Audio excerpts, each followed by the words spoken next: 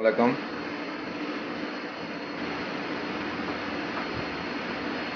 मेरा नाम राणा शाहद है। मैं अमेरिका च तकरीबन थर्टी थ्री ईयरस हो गए मैंने इस मैं गुजारिश करदा पूरे पाकिस्तान की पब्लिक वास्ते कि रब दे वास्ते ਤੁਸੀਂ ਨਵਾਜ਼ ਸ਼ਰੀਫ ਨੂੰ ਸਮਝਣਾ ਸ਼ੁਰੂ ਕਰੋ ਕਿ ਨਵਾਜ਼ ਸ਼ਰੀਫ ਕੀ ਚੀਜ਼ ਆ। ਮੈਨੂੰ ਤੇ ਇਦਾਂ ਲੱਗਦਾ ਜਿੱਦਾਂ ਪੂਰਾ ਪਾਕਿਸਤਾਨ ਦੀ ਜਿਹੜੀ ਪਬਲਿਕ ਆ, ਉਹ ਨਵਾਜ਼ ਸ਼ਰੀਫ ਔਰ ਪੀਪਲ ਪਾਰਟੀ, ਬੇਨਜ਼ੀਰ, ਕੋਈ ਸਮਝ ਨਹੀਂ ਆ ਰਹੀ ਮੈਨੂੰ। ਮੈਨੂੰ ਤਕਰੀਰ ਵੀ ਨਹੀਂ ਕਰਨੀ ਆਉਂਦੀ ਕਿ ਕਿੱਦਾਂ ਮੈਂ ਸਮਝਾਵਾਂ ਤੁਹਾਨੂੰ। ਤੁਹਾਨੂੰ ਕਿਸੇ ਨੂੰ ਨਜ਼ਰ ਨਹੀਂ ਆਉਂਦਾ ਕਿ ਪਾਕਿਸਤਾਨ ਦੇ ਵਿੱਚ ਥੋੜੀਆਂ ਮਾਵਾਂ ਭੈਣਾਂ ਵੀ ਰਹਿਣੀਆਂ?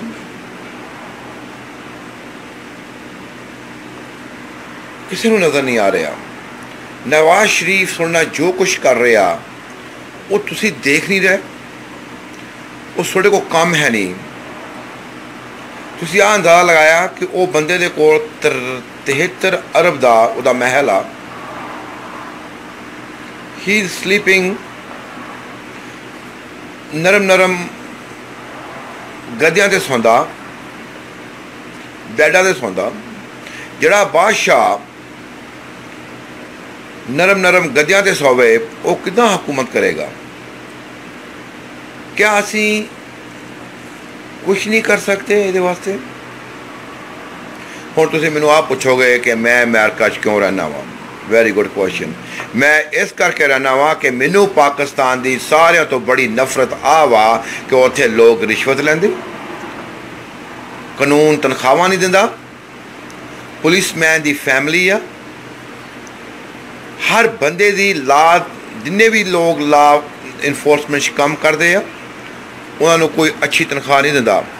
ਕਿ ਅਗਰ ਉਹਨਾਂ ਨੂੰ ਕੋਈ ਅੱਛੀ ਤਨਖਾਹ ਨਹੀਂ ਦੇਗਾ how they going to survive ਮੈਂ ਆ ਦੋ ਤਿੰਨ ਗੱਲਾਂ ਤੁਹਾਡੇ ਕੋਲ ਪੁੱਛਣਾ ਚਾਹ ਰਿਹਾ ਅੱਜ ਕਿ ਤੁਹਾਡਾ ਪੂਰਾ ਪਾਕਿਸਤਾਨ ਕਿ ਕੀ ਕਰ ਰਿਹਾ? ਕਿ ਅਗਰ ਤੁਸੀਂ ਕੁਝ ਨਹੀਂ ਕਰ ਸਕਦੇ, ਸਿਰਫ ਅੰਨਾ ਸੋਚ ਲਓ ਕਿ ਮੈਂ ਪਹਿਲੇ ਵੀ ਆਪਣੀ ਤਕਰੀਰ 'ਚ, ਆਪਣੀ ਸਪੀਚ ਕਹਿ ਚੁੱਕਿਆ ਰੈਵੋਲੂਸ਼ਨ ਰਿਮੈਂਬਰ ਫਰਾਂਸ ਰੈਵੋਲੂਸ਼ਨ ਔਰ ਤੁਸੀਂ ਇੱਕ ਨਹੀਂ ਲੈ ਸਕਦੇ? ਇੱਕ ਤੁਸੀਂ ਇੱਕ ਰੈਵੋਲੂਸ਼ਨ ਹੀ ਲੈ ਕੇ ਆ ਸਕਦੇ? ਕਿ ਅਗਰ ਲੈ ਕੇ ਆਓਗੇ, ਤੁਹਾਨੂੰ ਉਹ ਅੱਛਾ ਲੱਗੇਗਾ। ਲੇਕਿਨ ਕਰਕੇ ਤੇ ਦੇਖੋ ਕਿ ਅਗਰ ਤੁਹਾਨੂੰ ਅੱਛਾ ਨਾ ਲੱਗਿਆ, ਉਹ ਪੂਰੀ ਕੌਮ ਇਕੱਠੀ ਹੋ ਜਾਓ। ਪੂਰੀ ਕੌਮ ਇਕੱਠੀ ਹੋ ਜਾਓ ਕਿ ਤੁਸੀਂ ਇਕੱਠੇ ਨਹੀਂ ਹੋ ਸਕਦੇ। ਯਾਰ, ਮੁਸਲਮਾਨ ਹੋ ਤੁਸੀਂ ਲੋਕ। ਉਹ ਇਕੱਠੇ ਹੋ ਜਾਓ ਕਿ ਤੁਸੀਂ ਨਵਾਜ਼ ਸ਼ਰੀਫ ਤੋਂ ਕਿਉਂ ਨਾ ਡਰਦੇ ਹੋ? ਜਾਂ ਉਹਦੇ ਤਲਵੇ ਚੱਟਦੇ ਹੋ, ਉਹਦੇ ਚੌਧਰੀ ਨਿਸਾਰ ਹੋ ਗਿਆ। ਹੋਰ ਕਾਫੀ ਲੋਕ ਆ, ਰਾਣਾ ਸਨਾਉਲਾ। ਹੋਰ ਬਹੁਤ ਲੋਕ ਆ ਜਨਰਲ ਸਾਹਿਬ ਮੁਲਕ ਵਾਸਤੇ ਬਹੁਤ ਅੱਛੇ ਆ ਉਹਨਾਂ ਵਾਸਤੇ ਕੁਝ ਕਰਕੇ ਦੇਖੋ ਸ਼ਾਇਦ ਸਾਡਾ ਮੁਲਕ ਅੱਛਾ ਹੋ ਜਾਏ ਅਸੀਂ ਵੀ ਵਾਪਸ ਆ ਸਕੀਏ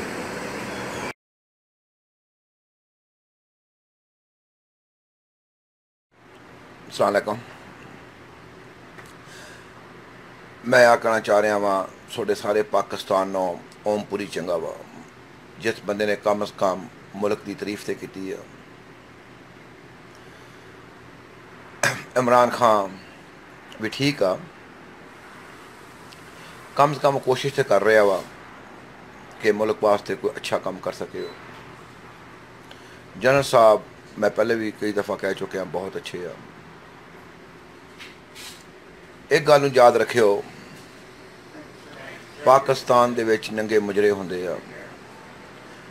ਉਹ ਸਾਰੇ ਲੱਖਾਂ ਦੇ ਲੱਖਾਂ ਰੁਪਈਆ ਉਹ ਮੁਜਰਿਆਂ ਦੇ ਉੱਤੇ ਲਾ ਦਿੰਦੇ ਆ। ਕਿਸੇ ਗਰੀਬ ਨੂੰ ਖਾਣਾ ਨਹੀਂ ਖਿਲਾ ਸਕਦੇ। ਇੱਕ ਯਾਦ ਕਰ ਲਿਓ। ਕੱਲ ਨੂੰ ਅਗਰ ਤੁਸੀਂ ਅੱਜ ਕੁਝ ਆਪਣੇ ਆਉਣੇ ਵਾਲੇ ਬੱਚਿਆਂ ਵਾਸਤੇ ਕੁਝ ਨਾ ਕੀਤਾ, ਉਹ ਕੱਲ ਨੂੰ ਤੁਹਾਡੀਆਂ ਬੱਚੀਆਂ ਵੀ ਡਾਂਸ ਕਰਨਗੀਆਂ। ਮੈਨੂੰ ਪਤਾ ਤੁਹਾਨੂੰ ਆ ਸੁਣ ਕੇ ਬੜਾ ਗੁੱਸਾ ਲੱਗੇਗਾ, ਕਿਉਂਕਿ ਤੁਸੀਂ ਬੜੇ ਭੈਣ ਚੋਦ ਹੋ ਸਾਰੇ ਪਾਕਿਸਤਾਨੀ। ਕਿਉਂਕਿ ਤੁਸੀਂ ਅੱਛਾ ਕੰਮ ਨਹੀਂ ਕਰਨਾ। ਨੰਗੇ ਮੁਜਰੇ ਤੁਸੀਂ ਕਰਾ ਸਕਦੇ ਹੋ। ਕਿਸੇ ਦੀ ਸ਼ਾਦੀ ਹੁੰਦੀ ਆ, ਤੁਸੀਂ ਲੱਖਾਂ ਡਾਲਰ ਖਰਚ ਕਰ ਸਕਦੇ ਹੋ। ਨਵਾਜ਼ ਸ਼ਰੀਫ ਭੈਣ ਚੋਦ ਕੁੱਤਾ ਵਾ, ਉਹ ਕੁੱਤਾ ਸੀ ਔਰ ਉਹ ਕੁੱਤਾ ਰਹੇਗਾ। ਅੱਛੇ ਬੰਦੇ ਦੀ ਸਪੋਰਟ ਕਰਨਾ ਤੇ ਤੁਸੀਂ ਆਪਣੇ ਆਪ ਨੂੰ ਆਪਣੀ ਸਮਝਦੇ ਹੋ ਕਿ ਤੁਹਾਡੀ ਬਹੁਤ ਬੜੀ ਬੇਇੱਜ਼ਤੀ ਹੋ ਗਈ ਹੈ। 1973 ਦੇ ਵਿੱਚ ਪਟੋ ਨੇ ਜੋ ਕੁਝ ਕੀਤਾ ਸੀ, ਜੋ ਮੁਲਕ ਦਾ ਬਿੜਾ ਗਰ ਕਰਕੇ ਗਿਆ ਔਰ ਜਿੰਨੇ ਪੀਪਲ ਪਾਰਟੀ ਦੇ ਚਮਚੇ ਆ, ਉਹ ਜ਼ਲੀਲੋ, ਉਹ ਜ਼ਰਦਾਰੀ ਅੰਨਾ ਪੈਸਾ ਕੱਢ ਕੇ ਮੁਲਕ ਚੋਂ ਲੈ ਗਿਆ।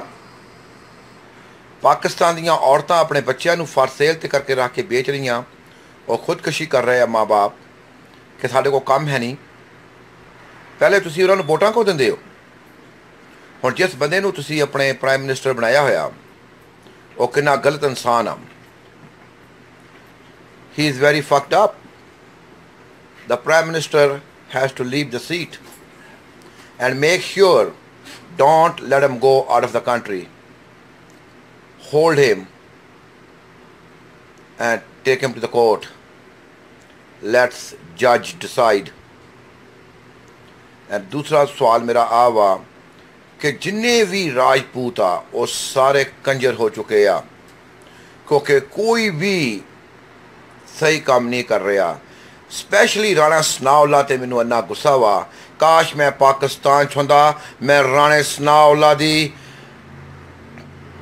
ਐਸੀ ਦੀ ਤੈਸੀ ਕਰ ਦਿੰਦਾ। ਰਾਣੇ ਇਫਤਖਾਰ ਨੂੰ ਜਾਣਦੇ ਹੋ ਤੁਸੀਂ? ਮੇਰਾ ਖਿਆਲ ਨਹੀਂ ਜਾਣਦੇ। ਉਹਨੂੰ ਪਟੋ ਨਾਲ ਫਾਂਸੀ ਲੱਗੀ ਸੀ। ਉਹਨੇ ਪਟੋ ਦੇ ਕਹਿਣ ਦੇ ਮੁਤਾਬਕ ਇੱਕ ਬੰਦੇ ਨੂੰ ਮਾਰਿਆ ਸੀ। ਤੁਸੀਂ ਪੜ ਰਹੇ ਹੋ। ਔਰ ਪਟੋ ਨੂੰ ਫਾਂਸੀ ਦਿੱਤਾ ਸੀ ਜਨਰਲ ਜ਼ਿਆ ਨੇ। ਕਿਆ ਅਸੀਂ ਦੁਬਾਰਾ ਕੁਝ ਕਰ ਨਹੀਂ ਸਕਦੇ? ਕਾਸ਼ ਮੈਂ ਪਾਕਿਸਤਾਨ ਹੁੰਦਾ ਜਾਂ ਮੈਂ ਆ ਸਕਦਾ। ਆੜੀਆਂ ਝੂਠੀਆਂ ਬਦਮਾਸ਼ੀਆਂ ਕਰਦੇ ਫਿਰਦੇ ਹੋ। ਔਰ ਮੈਨੂੰ ਕੋਈ I don't blame any police officer in Pakistan ਕਿਉਂਕਿ ਸਾਰੇ ਚਮਚੇ ਆ, ਉਹਨਾਂ ਦੇ ਬੱਚੇ ਆ ਛੋਟੇ ਛੋਟੇ ਉਹਨਾਂ ਨੇ ਸਾਰਿਆਂ ਦੀਆਂ ਗੱਲਾਂ ਨਾਲੇ ਸਨਾਉਲਾ ਨੇ ਦੀਆਂ ਮੰਨੀਆਂ ਜਾਣੀਆਂ। ਸ਼ਬਾਸ਼ ਸ਼ਰੀਫ ਝੂਠਾ ਨਵਾਜ਼ ਸ਼ਰੀਫ, ਉਹ ਕਿੱਥੇ ਗਿਆ ਉਹ ਨਵਾਜ਼ ਸ਼ਰੀਫ ਜਿਹਨੇ ਆ ਗੱਲ ਕਹੀ ਸੀ ਕਿ ਮੈਂ ਜ਼ਰਦਾਰੀ ਨੂੰ ਸੜਕਾਂ ਦੇ ਉੱਤੇ ਖਰੀਸਾਂਗਾ ਜਦੋਂ ਉਹ ਪ੍ਰਾਈਮ ਮਿਨਿਸਟਰ ਬਣ ਗਿਆ, ਉਹਨੇ ਉਹਨੂੰ ਦਾਵਤ ਕੀਤੀ। 73 ਡਿਸ਼ਾਂ ਉਹਨੇ ਖਾਣੇ ਵਾਸਤੇ, ਉਹਦੇ ਵਾਸਤੇ ਬਣਾਈਆਂ। ਮੈਨੂੰ ਕੋਈ ਹਲੇ ਤੱਕ ਸਮਝ ਨਹੀਂ ਆ ਰਹੀ ਕਿ ਸਾਡੀ ਕੌਮ ਮੁਰਦਾ ਹੋ ਗਈ ਆ। ਸਿਰਫ ਸਾਡੀ ਕੌਮ ਦੇ ਵਿੱਚ ਇੱਕ ਫੌਜ ਬਹੁਤ ਅੱਛੀ ਆ। ਜਨਰਲ ਸਾਹਿਬ ਬਹੁਤ ਜ਼ਿਆਦਾ ਅੱਛੇ ਆ। ਜਨਰਲ ਸਾਹਿਬ ਬਹੁਤ ਅੱਛੇ ਆ। ਜਨਰਲ ਸਾਹਿਬ ਦੀ ਕੋਈ ਬਾਤ ਨਹੀਂ, ਉਹਨਾਂ ਦਾ ਬਹੁਤ ਅੱਛਾ ਕੰਮ ਕਰਕੇ ਜਾ ਰਹੇ ਆ। ਅਗਰ ਮੈਂ ਜਨਰਲ ਸਾਹਿਬ ਨੂੰ ਰਿਕੁਐਸਟ ਕਰਾਂ ਕਿ ਉਹ ਨਾ ਜਾਣ ਅਗਲੇ 4 ਸਾਲ ਤੱਕ, ਉਹਦਾ ਹੋ ਨਹੀਂ ਸਕਦਾ ਕਿ ਆਕਾਸ਼ ਉਹ ਸਾਡੇ ਮੁਲਕ 4 ਸਾਲ ਰਹਿ ਸਕਣ। ਹੁਣ ਇਸ ਟਾਈਮ ਨਵਾਜ਼ ਸ਼ਰੀਫ ਨੇ ਜੋ ਚੱਕਰ ਚਲਾਇਆ ਪਾਕਿਸਤਾਨ ਦੇ ਵਿੱਚ,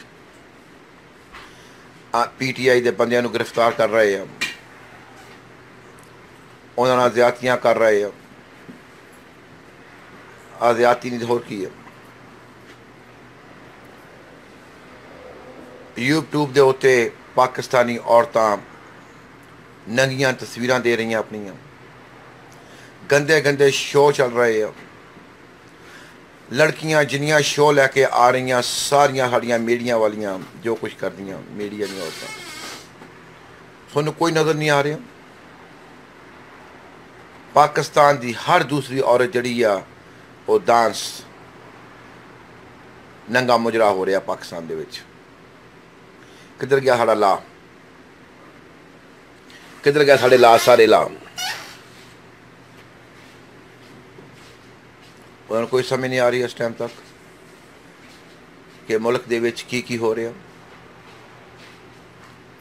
1973 ਦੇ ਵਿੱਚ ਪੱਟੋ ਨੇ ਜਦੋਂ ਪਹਿਲੀ ਦਫਾ ਬੇੜਾ ਗਰ ਕੀਤਾ ਸੀ ਮੁਲਕ ਦਾ, ਉਸ ਤੋਂ ਬਾਅਦ ਜਨਰਲ ਜ਼ਿਆ ਨੇ ਉਹਨੂੰ ਫਾਂਸੀ ਲਾਈ ਸੀ। ਪੰਜ ਬੰਦਿਆਂ ਦੇ ਨਾਲ ਉਹਨਾਂ ਦੇ ਵਿੱਚੋਂ ਇੱਕ ਬੰਦਾ ਸੀ ਰਾਣਾ ਇਫਤਖਾਰ ਹੀ ਵਾਸ ਮਾਈ ਅੰਕਲ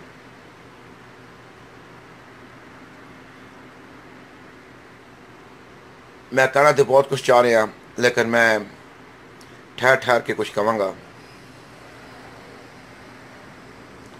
ਲੇਕਿਨ ਮੇਰੀ ਗੁਜ਼ਾਰਿਸ਼ ਹੈ ਫਿਰ ਪਾਕਿਸਤਾਨ ਦੀ ਪਬਲਿਕ ਵਾਸਤੇ ਕਿ ਅਗਰ ਤੁਸੀਂ ਵਾਕਿਆ ਇਸਲਾਮ ਨੂੰ ਸਮਝਦੇ ਹੋ ਜਾਂ ਹਜ਼ੂਰ ਪਾਕ ਸੱਲੱਲਾਹੁ ਅਲੈਹਿ ਵਸੱਲਮ ਨੂੰ ਮੰਨਣ ਵਾਲੇ ਹੋ, ਸਿਰਫ ਅੰਨਾ ਸੋਚੋ ਕਿ 200 ਸਾਲ ਪਹਿਲੇ ਤੁਹਾਡੀ ਬੱਚੀਆਂ ਦੀਆਂ ਇੱਜ਼ਤਾਂ ਲੁੱਟੀਆਂ ਗਈਆਂ। ਕਿ ਅਗਰ ਤੁਸੀਂ ਅੱਜ ਨਾ ਰੋਕਿਆ ਕੱਲ ਨੂੰ ਨਵਾਜ਼ ਸ਼ਰੀਫ ਦੇ ਬੰਦਿਆਂ ਨੇ ਤੁਹਾਡੀਆਂ ਭੈਣਾਂ ਦੀਆਂ, ਤੁਹਾਡੀਆਂ ਮਾਵਾਂ ਨੂੰ ਨੰਗਾ ਕਰਾ ਕੇ ਨਚਾਣਾ ਆ ਮੇਰੀ ਗੱਲ ਨੂੰ ਯਾਦ ਰੱਖ ਲਿਓ। ਤੁਹਾਨੂੰ ਸਮਝ ਨਹੀਂ ਆਣੀ ਇਸ ਟਾਈਮ ਕਿਉਂਕਿ ਇਸ ਟਾਈਮ ਤੁਸੀਂ ਬਿਲਕੁਲ ਨਵਾਜ਼ ਸ਼ਰੀਫ ਦੇ ਰਾਈਟ ਬਾਲ ਬਣੇ ਹੋਏ ਹੋ। ਪਰ ਇੱਕ ਦਿਨ ਆਏਗਾ ਜੋ ਤੁਹਾਨੂੰ ਸਮਝ ਲੱਗੇਗੀ, ਜਦੋਂ ਤੁਹਾਡੀਆਂ ਇੱਜ਼ਤਾਂ ਲੁੱਟੀਆਂ ਜਾਣੀਆਂ। ਤੁਹਾਡੇ ਸਾਹਮਣੇ ਲੋਕ ਆਣਗੇ ਤੁਹਾਡੀਆਂ ਮਾਵਾਂ ਭੈਣਾਂ ਦੀਆਂ ਇੱਜ਼ਤਾਂ ਲੁੱਟਣਗੇ ਔਰ ਤੁਸੀਂ ਕੁਝ ਨਹੀਂ ਕਰ ਸਕੋਗੇ ਔਰ ਤੁਸੀਂ ਦੇਖੋਗੇ ਕਿ ਸਾਡੀਆਂ ਇੱਜ਼ਤਾਂ ਲੁੱਟੀਆਂ ਜਾ ਰਹੀਆਂ Yeah. All right. Chief. Uh, come see about that. Thank you